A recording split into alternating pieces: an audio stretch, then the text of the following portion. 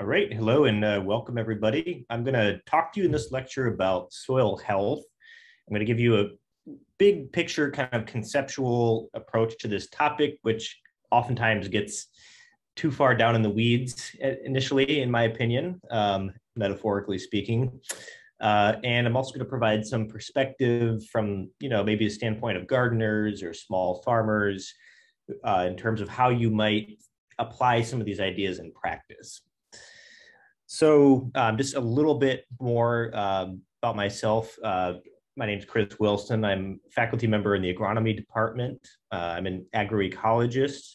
So I study the ecosystem processes that go on in our agricultural systems, particularly interested in the flows of carbon and energy, the implications of different kinds of uh, agricultural systems and practices on uh, climate change, and uh, several other topics as well.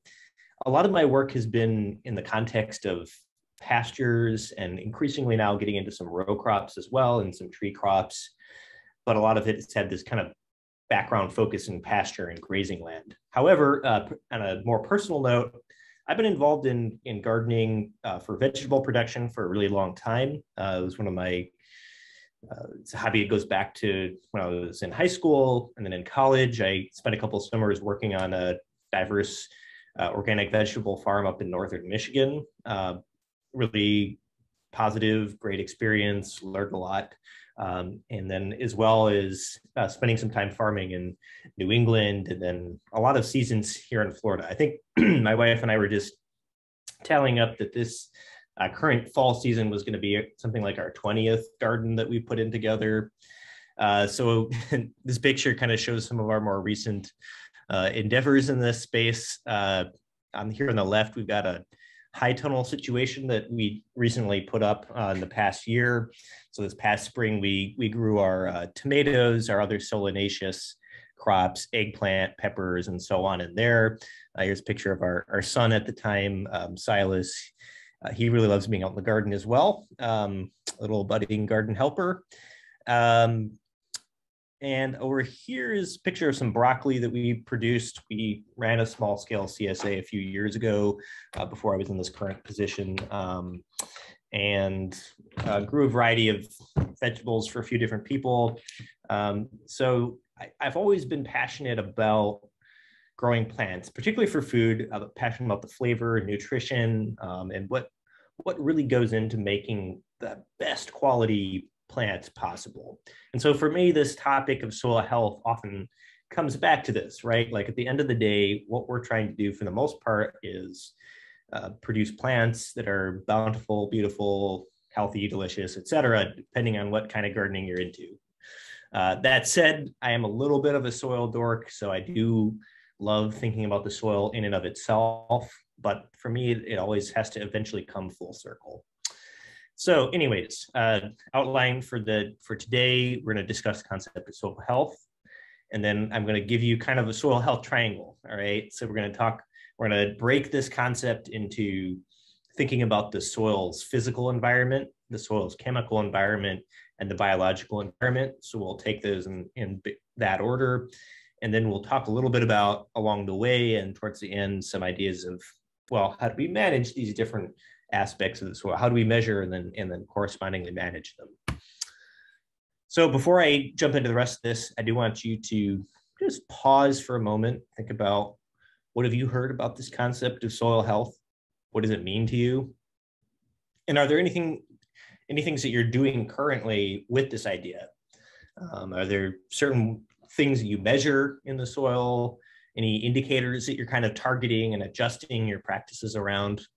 Um, so yeah, I'm just it's something I'm very curious about, uh, and hopefully at some point we'll have a chance to be live together and talk through some of this stuff more. Okay, so I want to zoom back just for a second, and we're talking about soil health, and so that second word there, health, is a really big concept, and I think it you uh, it's actually hard to define, hard to pin down but it's a concept that that we have to think about in the context of all living systems. So there's something to do with living systems with biology and this idea of health. So one particular definition that I, I like to work with, and it's not an exclusive one, So there's also absence of disease. Okay, that's kind of low hanging fruit. Um, just got over a nasty cold myself, so I'm very familiar with uh, disease uh, and the absence of disease being a very wonderful thing. Uh, but we, I think we all intuitively sense that there's something more than just absence of a specific disease or, or you know, discomfort or something like that that goes on with what does it mean to be healthy. So I think one aspect of this is that health is the appropriate, necessarily dynamic balance between processes that are responsible for building us up, for growth, repair, restoration, and so the technical term for that would be anabolism. So we see that, excuse me, on the left-hand side of this figure, versus the processes responsible for breaking down. So releasing energy from food substrate, from the, stuff that we eat and how our body turns that into energy and nutrients for us. Recycling damaged and old tissue, clearing out. And so collectively, those are kind of referred to as catabolism. So these are just big clusters that involve, you know, thousands of metabolic processes under each rubric. But there's some idea that we need this balance of building up and breaking down to underlie what it means to be a healthy living system. So I'm just going to park that there and we'll come back to some of these ideas in the context of soil in a little bit. But first we have to talk about then, okay, we have health, now we need to think about what actually is soil. So soil is this really wonderful stuff that I think poetically we can think of this as the skin of the biosphere. It's a very, very thin layer. If we think about like a transect through the earth, starting from the surface, going down to the core, most of it's like the mantle, right? It's it's uh this we're we're uh, an enormous geologic entity and there's this thin little layer, epidermal layer of soil that's right on the surface. And that's going to depend on the type of living organisms that are occupying a given area for a very long period of time. So it's soil is made out of the activity of plants, microorganisms, and various life forms, animals or fauna that live in the soil. As that these things then interact with the weathering of the geologic material that underlies us. So no matter where you're standing, if you're on solid ground, there's like parent material underneath you at some depth that might be weathering out. So here in Florida, we're familiar with the, you know, the limestone Floridian aquifer, right? And um, depending on where, where you are, there's going to be different depths till you get to some kind of parent material like limestone or some parts of the country, it might be like granite, okay? Um, that mineral matter that weathers out of the rocks is then what is supplying ultimately the nutrients that the plants are uh, are taking up out of the soil as well as just the whole structure of the soil. So you've got mineral material you've got air you've got water and you've got organic life and its constant churn interacting together. So we have on this left hand side here a sense of okay we've got geologically, we break things down into volcanic or igneous rock, sedimentary rock, metamorphic rock. All of this has to weather. So it's, it's the breakdown of that material, the catabolism, if you will, of that rock material that then releases the nutrients that are needed to support microbial and plant life. And so that interaction then happens and becomes soil. Okay, so again, just really brief bird's eye view here in the US, we have this system of um, taxonomy that we've developed. And so the word taxonomy is quite deliberate here. This is a concept that comes right out of evolutionary biology, our understanding of the relatedness of forms of life. Well, there's taxonomy of soils that reflects variations in the parent material, so the ultimate rock stuff that they're made out of, the type of vegetation, and really importantly, the kind of climate that is happening because the temperature humidity, those factors determine the rate of weathering, that breakdown or catabolism of those rocks. So we've got this sequence of soils that are basically in different stage stages of weathering. So this is bookended by totally young soils called entisols that haven't weathered at all, and then oxisols, which we see a lot in tropical areas where they've been exposed to high temperature, high humidity for very long periods of time that have weathered considerably. And so it's no accident that the most agriculturally productive soils are found in the middle, particularly in these mollisols or these grassland soils. So again, think about this balance, breaking down, building up. Um, this applies as well in the case of soils. Then we have a variety of soils that are context specific, like andisols that develop on volcanic uh, ashes and residue. And um, our favorite here in Florida is spodosols. So question, uh, is there then an ideal healthy soil? Well, I think it's a bit, to use another um, analogy here, this in this case to human biology, it's a bit like asking, is there some optimal body type for running as an activity? So on the left-hand side here, we've got a picture of Haile Gebrselassie and Paul Tergat, two of the most famous marathon runners of all time. Um, this is at the conclusion of a race, uh, and in this particular one, uh, Haile is, is winning.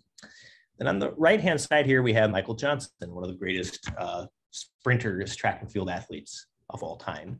See huge divergences here in their in their body type, right? Um, both all these gentlemen are at the top of their sports. They're all extremely lean, but we see very like much less pronounced muscular development in the case of people ideally adapted for running over long distances. If we were to zoom with an echocardiogram into the hearts of these gentlemen, we'd find that they had probably had very large, particularly left ventricles, so they could sustain a very high aerobic output for a long period of time.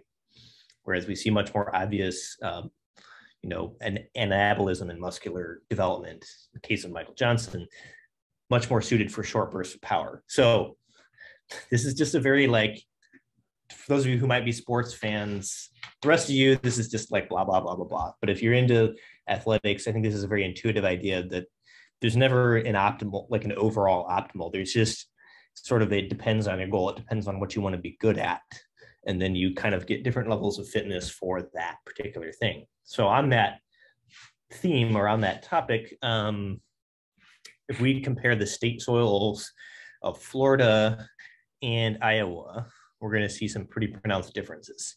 Okay, Florida state soil, for those you don't know, that's the Myakka series. This is an example of a spodosol. A spodosol is a type of soil that develops in a uh, seasonally inundated kind of environment. So here in Florida, we have a lot of these flatwoods kind of habitats where we've got oaks, palmettos, um, you know, wiregrass, kind of herbaceous layer as well. And this, if you've been in these flatwoods during the summer months, during our monsoon season, basically, when you're walking around, it's like splish, splish, splish. You're, you're totally waterlogged. As we get into winter, especially a drier winter, it's going to recede and drain. And so this cyclical waterlogging leads to a very specific type of soil development that occurs that results in, in what we have here, the, these spodosols. So we've got a, a, thin layer of topsoil or A horizon here. We've got this E horizon, which is very strongly leached of nutrients and minerals. And then we have a B horizon where a lot of that stuff that is leached has accumulated. So this is a very particular type of soil. This is really, really good if you want to grow a flatwoods type of ecosystem. Over here in Iowa, we have one of these mollisols that I pointed out in that weathering sequence. It's in the middle. Uh, this is very deep soil. So we have a very like, you know, deep uh, surface horizon of it's enriched in organic material, very fertile. And then we have, you know, the uh, the rest of the profile also contains a considerable amount of fertility as well. So if you're trying to grow tall grass prairie or annual crops like corn, soy, wheat, things like that, this is an excellent soil to be working with, much better than this one. So again, context specific. One of these soils isn't healthier than the other. Uh, rather, you have to define that health with respect to an ecosystem type that is either going to evolve in some place or is something that we are managing deliberately for. Okay, so I know that that's some big picture ideas. There's a lot that we could unpack and talk about there, but I, you know, want to keep this relatively contained. So we're going to move into then some more nuts and bolts of measuring and assessing soil health with respect to these three components the soil biology, the physical environment, and the chemical environment In this figure, I've drawn the drawn these arrows two ways. So all these things are connected to each other. And that's what I want to emphasize is that we can make these distinctions as we break this stuff down and talk about it. But you should always realize that all this stuff is very deeply interactive. And so I'm going to highlight a few of the things that will connect your biology to your chemistry and your physical environment to your biological environment and so on and so forth. And soil health then is sort of like an emergent property or an emergent description of the balance among these factors. So that's what we have to think about here. Okay, physical environment. So I've sort of alluded to this already. Um, soils, when they are developing and if they're in good shape, roughly speaking, are going to have physical structure. It's going to have a vertical structure to it. So this is kind of like a very typical like forest, deciduous, like temperate soil here. We would have an O horizon, which is where organic material, detritus, leaves, things like that are falling and are accumulating. We've got lots of activity of um, fauna, insects, and so forth that are dwelling in this area, helping to break down that material. This is leading into the enriched A horizon, the topsoil as we refer to it, that is a mixture of the minerals of the soil and the organic nutrients that are being added over time. And then underneath that, we've got the B horizon and the C horizon. And then we get down to, well, the C horizon is basically the, the parent material, the ultimate mineral stuff that is the, the physical skeleton out of which the soil is constructed. Okay, we also think about the uh, textural composition of the soil. This has a lot of impacts on the various properties that will concern us as gardeners, farmers, scientists. Um, soil texture is basically just the percentage composition of different particle size classes. And so we basically say, okay, anything over 50 micrometers, that's sand, two to 50 is silt, and less than two is going to be your clay. Now there's this textural pyramid many of you have probably seen that allows you to then classify your soil into one of these types. So we've got, uh, let's just say we've got 60% sand. We run that up and we've got uh, 20% clay. That gives us 80%. And then we're looking at, well, what, you know, the remainder would be composed of the silt. And um, at that that level, uh, we're in, we're in a, a loam category. Okay. Yeah, or any other um, category that we happen to fall into. Um, yeah, my apologies. I think I read that off wrong. There, obviously. So to get this right, shows you it's been a little while since I've done one of these. Um, we'd actually start here at the 40, and then you follow it up this direction. So we go 40% sand, intersecting with 20% clay and then 40% up here uh, silt. So there's these little hash marks if you have really sharp eyes that indicate the direction that you should go up these lines. Anyways, not that important. Uh, the idea is if you have a balance of these three particle uh, size types, you have what we call a loamy soil. These have very good properties for a lot of our plant production purposes.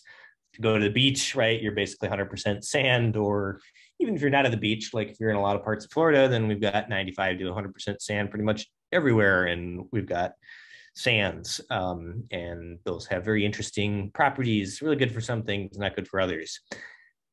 This composition will then determine a lot about the drainage. So how well you hang on to water, drain it, drain away excesses of water. It's gonna have really big implications for your fertility, for your ability to hang on to cations and anions which are these charged, you know, forms of minerals that are important for plant nutrition.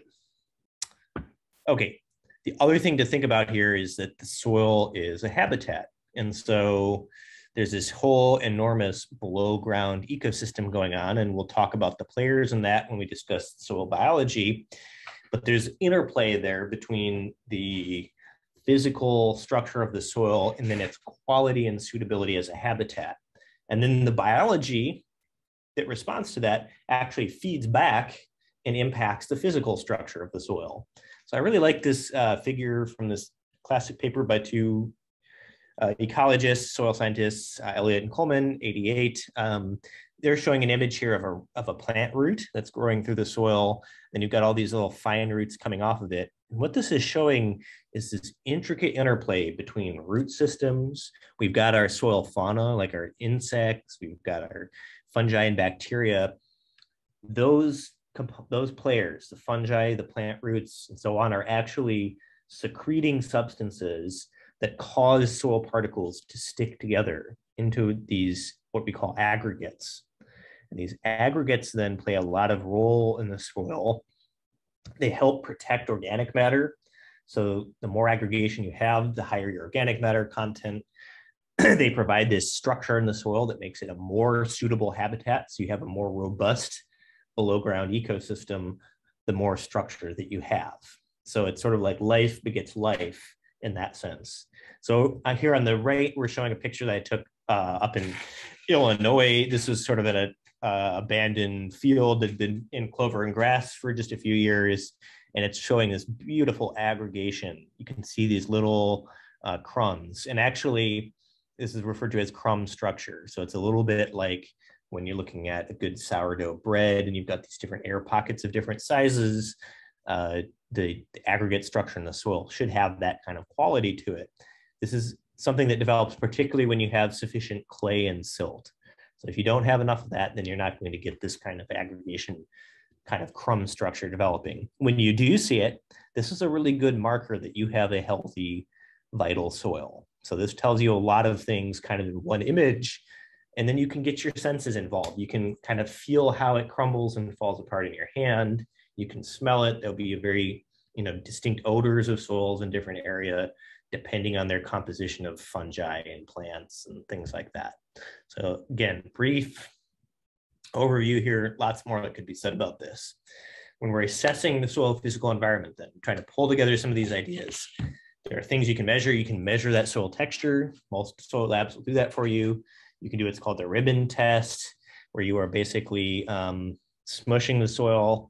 You want it to be a little bit moist, but not quite sopping and then you are trying to press out and see how long of a ribbon you can extrude from between your thumb and forefinger before it falls apart. The longer the ri ribbon you can produce, the higher the content of clay that you have in that soil. So that's kind of a hands-on method you can use. Give you the answer. Here in Florida, most of the time you're talking mostly sand. Okay, compaction, uh, you can assess this. Um, a, a poor physical environment would be very compressed together, heavy machinery, overgrazing of, of animals, things like that. Aggregation can be like that structure can also be assessed. You can also visually see it like we were looking at in that picture. This thing called the water infiltration test. So this is measuring the ability of how well does your soil absorb water. This is a really key property, particularly in drier systems, um, but it's good to think about in, in most most ecosystems as well. And so there are standardized ways you can do that. And we see a picture of this here where you have a beaker with kind of a known quantity of water, and then you are exposing a controlled volume of soil to that water and seeing how long it takes to absorb all of it. So if you have problems infiltrating water to the soil, you're going to have more of it running off. You're going to be losing water and potentially losing nutrients. And then you can look for the presence of macroarthropods. If you have a lot of earthworms in your soil, generally speaking, that tells you that a lot of other things are going well. Okay, so chemical environment, what do we include in this? Probably the number one um, kind of master property to concern yourself with would be the soil pH, the balance of acidity, alkalinity in the soil. Um, this has a lot of different implications. one of the major ones is that it impacts the availability of all the nutrients that your plants need for their production. And I think a lot of people who've been around farming and gardening kind of aware of this, have seen this a lot of different times. Not going to belabor it too much. You just kind of you want that balanced pH reaction. But here again, here again, we have context specificity.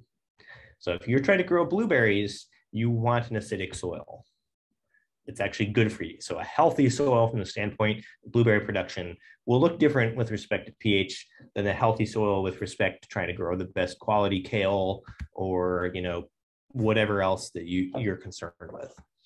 pH affects the ability, the, the nutrient reserves as well. Not going to get into that too much.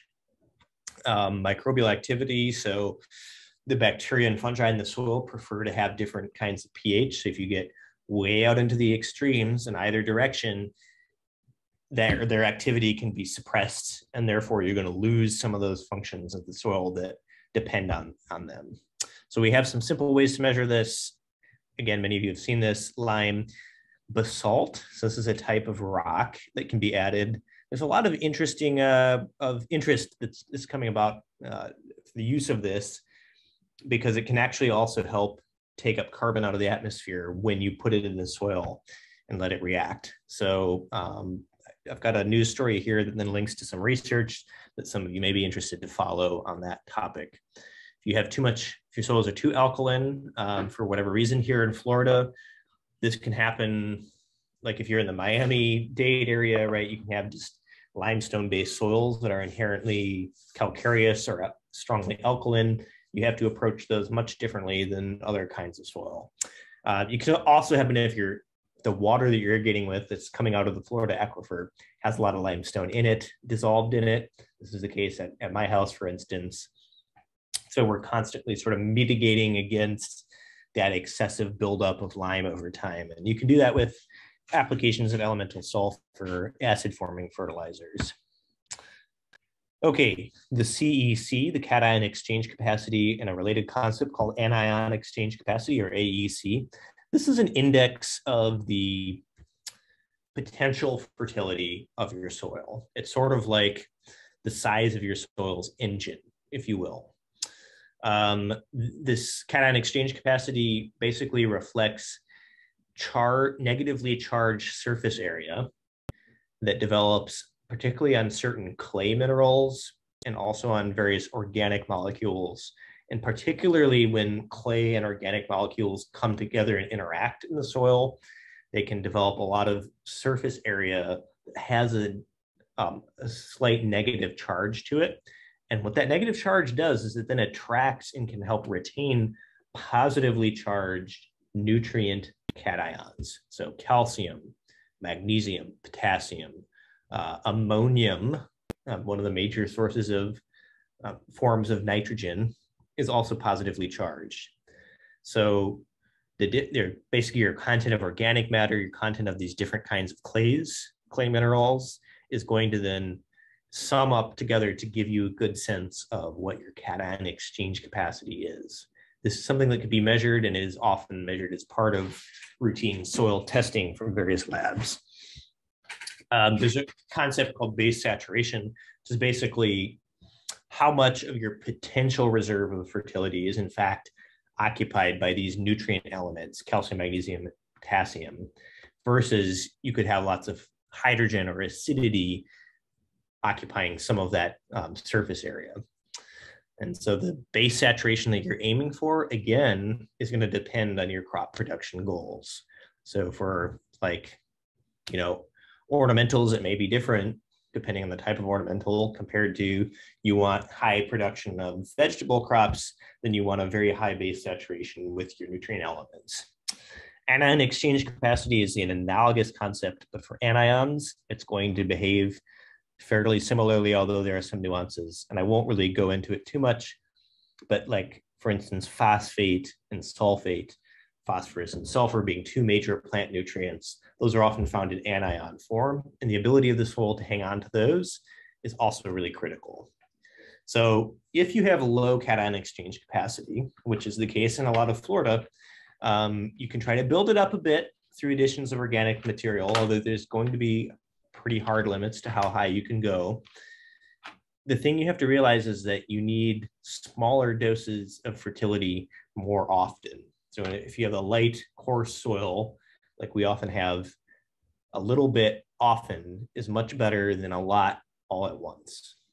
So if you think about, you know, managing fertility as a feeding strategy, many small meals versus one or two large meals is the way you should be kind of thinking about that.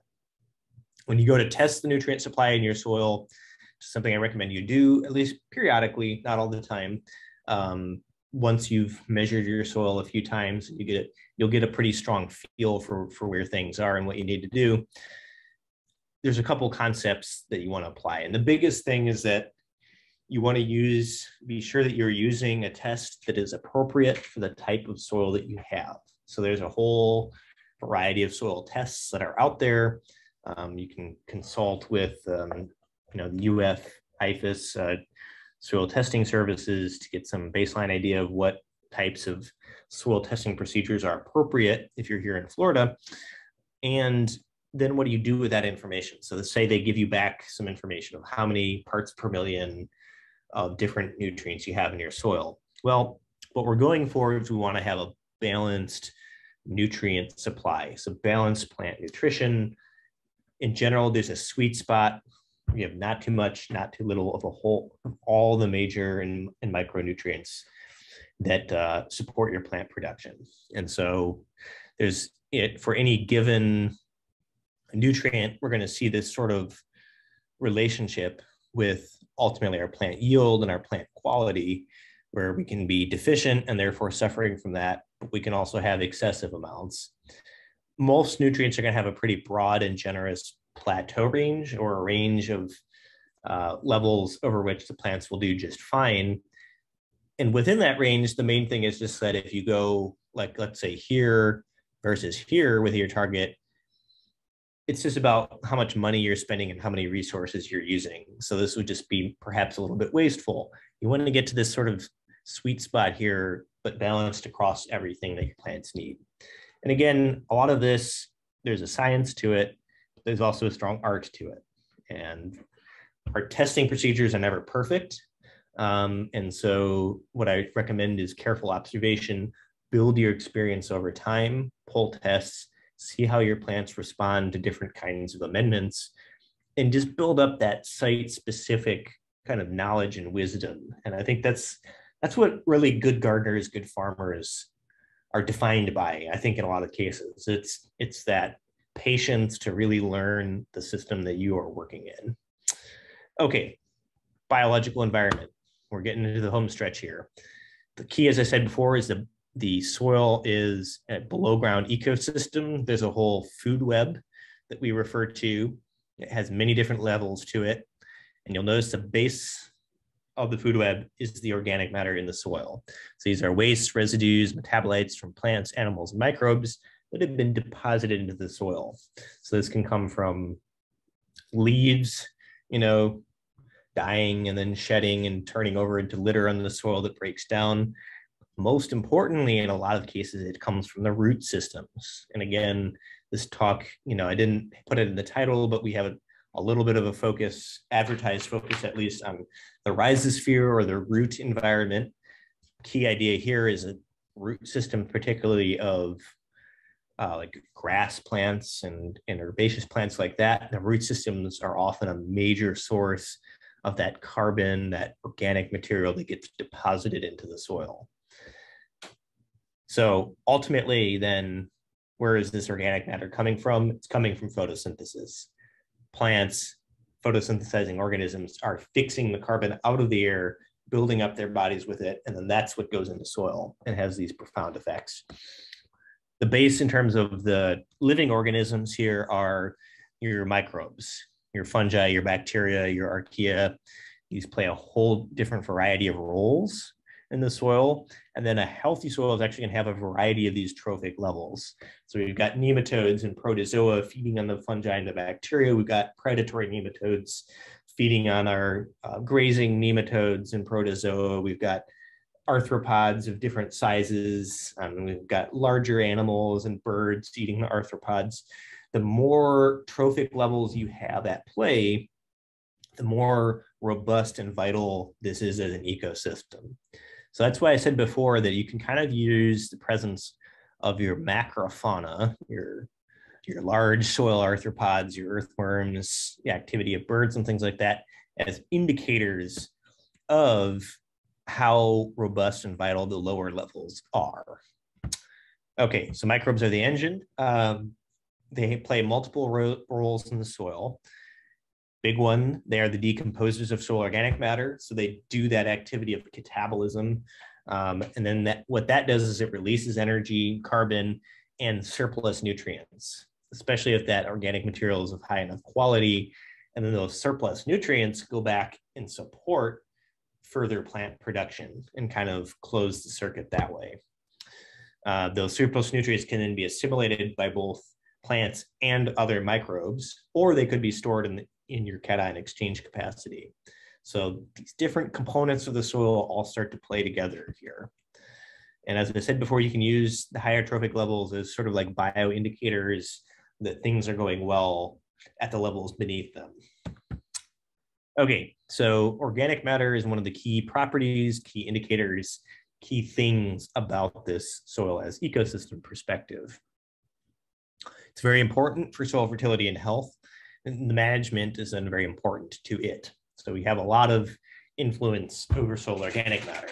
So this is kind of a classic textbook time series of organic matter uh, from the uh, mid Midwest United States uh, system converted early 1900s into row crop agriculture that practices a certain type of uh, conventional plowing, we see a profound loss of organic matter over time. So roughly 50% loss over the period of uh, 50, 60 years.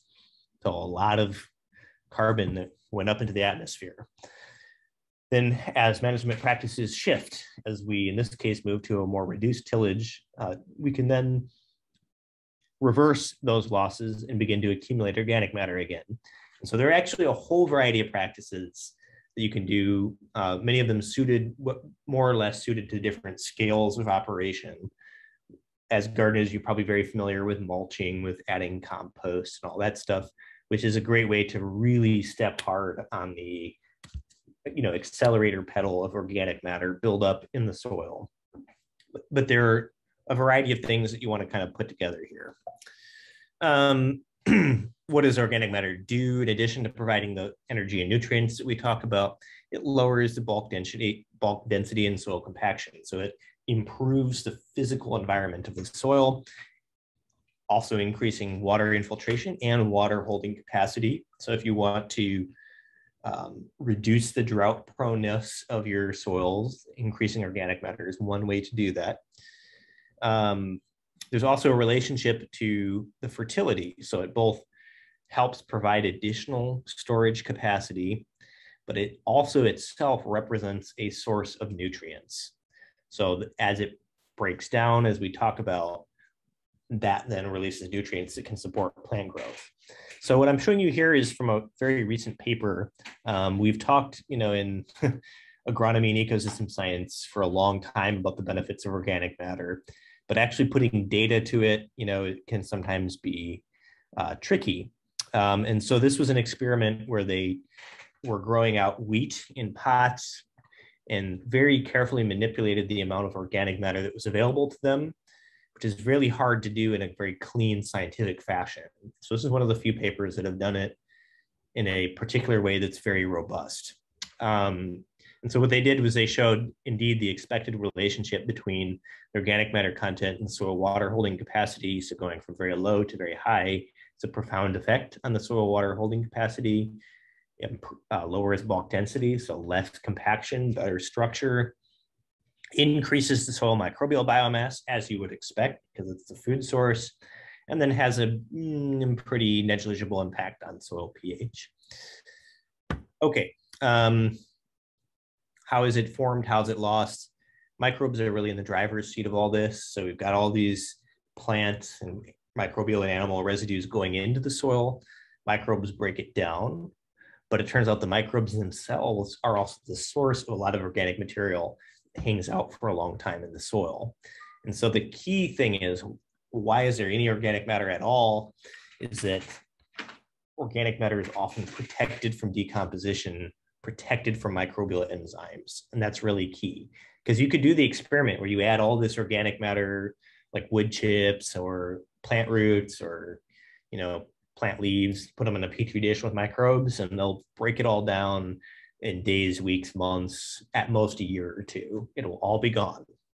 So in the, the reason why some of it persists in the soil is the interaction of the mineral and the organic constituents.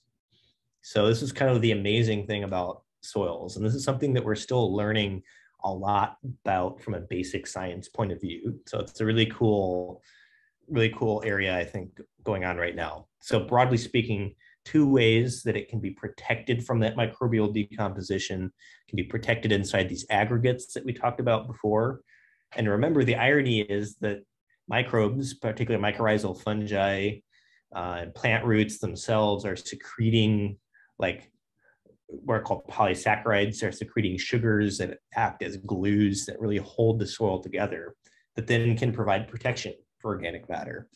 They can also have can also be interactions between organic molecules and soil particles, like particularly clay particles. And those interactions themselves protect those organic molecules from microbial enzymes. And so this is called organo-mineral interaction. That's kind of a, the technical term for this. And we are just starting to get really good physical science information about how that process works. And that's what I'm showing here is this is a scanning electron micrograph looking at an aluminum mineral in the soil interfacing with organic constituents. And so we are still learning a lot about how this works.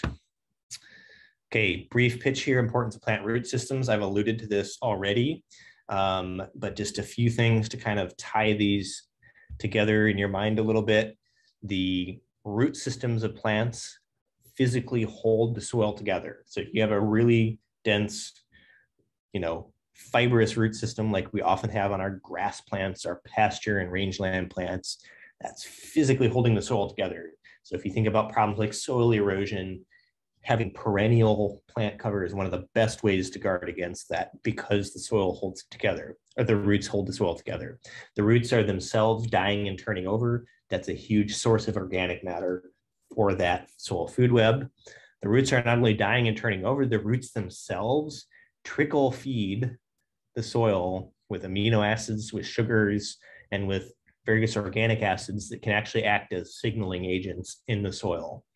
So growing living root tips particularly are very leaky. And so the plants are constantly losing some small fraction of what they've gained from photosynthesis right into the soil through this process we call exudation. So they're exuding sugars, exuding amino acids. And what that does is it creates a very dynamic rhizosphere that's chock full of microbial life and activity, um, very high rates of respiration, this then helps these microbes break down soil minerals and soil organic matter and access and liberate nutrients that can then support further plant production. Lastly, as I've alluded to before, plants and mycorrhizal fungi secrete polysaccharides, things like glomalin, which you may have heard of, that promote the aggregation of soil and thus its structure and its health. Key takeaways, is there an optimal soil organic matter? So going back to this paper that I mentioned before, Oldfield et al. 2020, there appears to be sort of an optimum in the middle, maybe, uh, but this is only the case for uh, protection systems where you are adding lots of nutrients and water, and systems where you, you are not adding quite as many resources. It's sort of more of a broad plateau zone, but it does go to show you that you don't get at any rate, you're not getting much benefit going above, let's say, four to 6% organic matter. So there's sometimes this idea that more is always better. But go back to the beginning. The key with organic matter is not just that we have a lot of it sitting around, it's that it is both being built up, it's both the anabolism of new organic material and it's being broken down. It's being catabolized to release nutrients and energy. And so if you have anabolism and catab- catabolism in balance, that's when you're going to get the best, most robust outcomes. So you don't necessarily need to always go for a higher and higher percentage of organic matter. And you can actually get into a lot of trouble overdoing it by trying to push to unrealistic levels. So we want to balance. Uh, there's a critical level that we often talk about of around 2% or higher. This is a very fuzzy kind of thing but if you want like a simple takeaway indicator, that might be a minimum level to shoot for for many types of production systems. Anabolic factors, we want diverse, high quality food supplies. Um, so you don't just want to do one type of input into your soil. You want to mix residues. You want to use some compost with made with a variety of materials. Maybe think about some mulches. Um, we want living plant roots for as much of the time as we can possibly have. Um, and then we want to have clay content ideally. This is often hard to remediate if you don't have clays, right? Um, there's a lot of excitement about biochar as potentially an alternate way to get some of these clay-like benefits. Needs a lot more work. Uh, we're, for how many years people have been excited about this stuff, um, there's still a lot that we don't know about how to use it. and then again, there are some things you can do um, that would tend to increase the loss of organic matter. And if you overdo them, you're going to have too many losses. So that would be failing to feed adequately, um, overdoing disturbance and tillage, and having too much exposure to high temperatures. Okay, so there's some other ways you can directly test soil biology beyond just measuring and thinking about organic matter. Yes, there are, um, and this is included in some of the standard soil health stuff like the Cornell uh, soil health manual procedure. I think some of it has value. Um, it's another thing where you have to maybe experiment a little bit and see what kind of value might add to the type of you know gardening farming whatever you're involved in um, you can do direct measurement of microbial biomass composition and diversity it's these are tricky laboratory methods that are currently, in my opinion, suitable for various research purposes, but are not, for the most part, ready for prime time use by end users, such as gardeners and farmers. Instead, there are some things you can measure that reflect function or food source quantity. So you can measure total organic matter, and there's a uh, tests for what's called active carbon that's essentially trying to test the amount of organic matter you have that's readily decomposable that's suitable to act as a short-term food source. And that should correlate with the various functions that we care about. The other big function, of course, being respiration. That's just a measure of the total metabolic activity. These things are a bit like when you go to assess your health, your doctor's measuring your vital signs. These are some very simple vital signs that you can measure the actual application can be a little bit tricky. Um, again, bioindicators of, of having uh, macrofauna, different kinds of insects, earthworms are often just as or perhaps even more useful in my opinion. And then at the bottom line, right, going back to where we started with all this, plant health and vigor is really the gold standard. So I don't care what indicators you use for soil health if your plants are not healthy and thriving, something is going wrong. Now, it could be that it's not a soil problem. It could just be a pest problem or disease problem that nothing that you do to your soil would do anything about. Um, but you could reason the other way. If your plants are, are doing just fine, then your soil health is probably fine, right? And so there's a little bit of um, need to stay grounded here if we pull all this together and we're almost done here, um, there's just a variety of things that you can think about and measure for physical, chemical, and biological uh, properties of the soil. It's the appropriate balance across all of these categories that's going to define soil health and what it means for you. There's a variety of kinds of practices. I do like these four soil health principles that NRCS is pushing I think these are good rules of thumb, although there's always going to be exceptions and corner cases and scenarios where some of these don't apply. But the rules of thumb being to minimize disturbance, that means, um, you know, not overdoing those catabolic factors, thinking about when you dig, when you till, um, trying to not overdo that. Although I think a little bit can be just fine uh, in my opinion. Maximizing the cover, this is a really big one. Trying to keep the soil with you know living living plant cover, uh, residues, um, cover crops, things like that.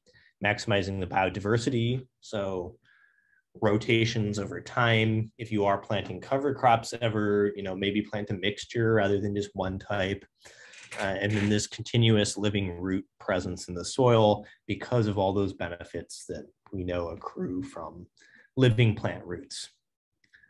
So um, summarizing all this, again, think carefully about your unique ecosystem, your unique goals for gardening. What are you trying to create?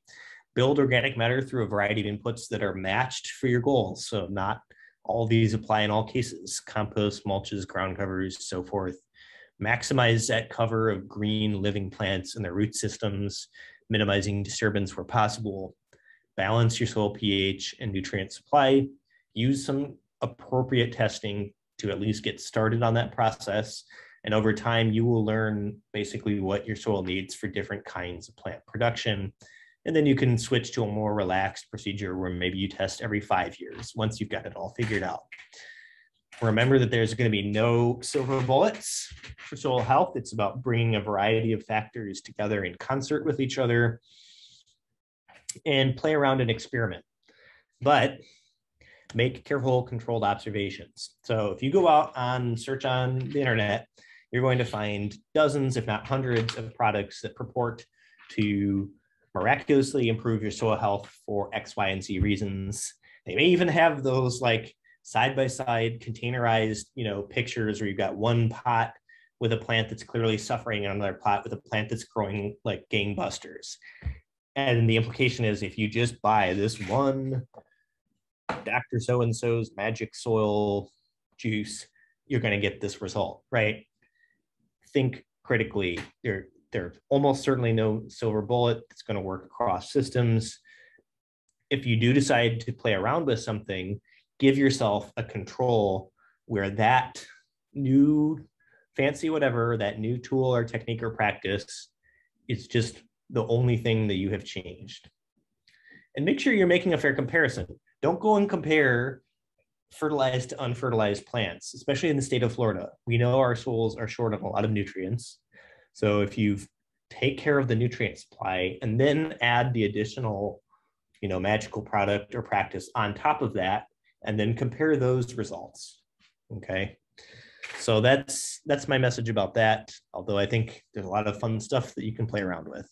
Again, healthy, vigorous plants that require minimal interventions um, is really the goal. And it's also the ultimate sign of having soil health. So with that, I'd like to uh, thank you for tuning in. I hope some of this has been useful.